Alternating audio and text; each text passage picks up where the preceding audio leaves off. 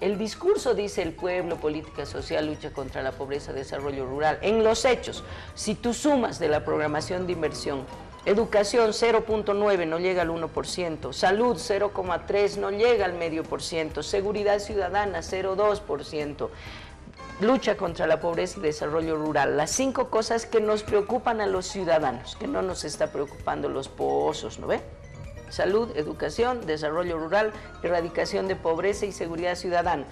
2,9% del total de la inversión pública para los cinco años del segundo mandato de Evo Morales. Esa es la realidad de las cosas. Por eso tú decías, la gente ha elegido. Exacto. Bueno, la gente averigüe pues antes de votar la próxima vez. No lo va a hacer. Va a haber el teleférico, va a haber el campo ferial, va a haber la carretera que une La Paz Oruro no, confío que no voten como guanacos. Primero hay que leer programas, hay que averiguar quiénes están detrás.